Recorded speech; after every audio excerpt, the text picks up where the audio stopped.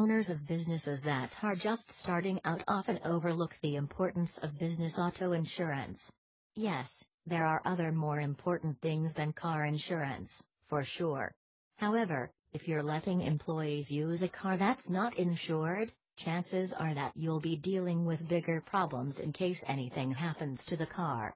It's also important to remember that a vehicle that's being used by employees must be covered with an auto business insurance.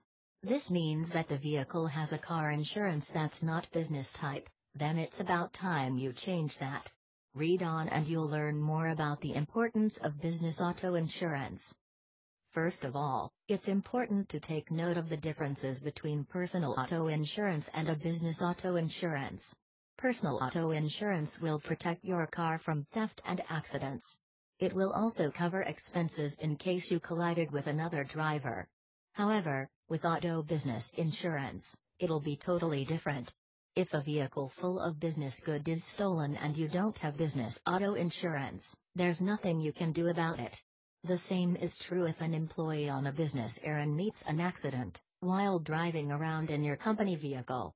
However, with the right policy, all of these won't be a problem. So when is the perfect time to look for an insurer? Well, if you're using your own car for business purposes, then it's about time you got one. If not, then you will have a hard time paying business related accidents and end up jeopardizing your business. You wouldn't want that to happen. The factors determining the price of the insurance will change. When applying for personal car insurance, you'll notice that all your age, type of car, and driving history will determine the price of the insurance. However, with business auto insurance, the factors are entirely different. The evaluators are going to take note of the number of drivers of the vehicle and who these drivers are.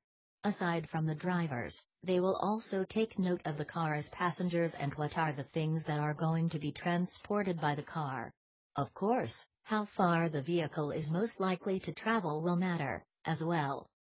You'll find that applying for this type of policy is a bit more complicated as compared to others. However, I hope that you understand how important this policy is. Nothing can offer you a much better protection. Getting quotes from companies is also very simple. You can get quotes from the company's website. All you have to do is meet the necessary requirements and send them online. The requirements are usually very simple. The usual requirements are information about the drivers, the car. This will include the driving history of all drivers. Be sure to check out many companies, maybe 3 to 5. This will allow you to compare what each of the companies can offer. Here's a simple tip on how to make the best of your policy. If you already have separate cars for business and personal purposes, you can try and get insurance for both of these vehicles from the same company. It's highly probable that the company will give you a discount for this. You can also another kind of insurance from the company, like a homeowner's insurance. You'll be surprised as to how much money you can save by doing this. Hopefully, you now understand how important business auto insurance is. Applying may be a bit of drag, but it's all for the better. Business auto insurance may be a bit confusing for those who are applying for it for the first time.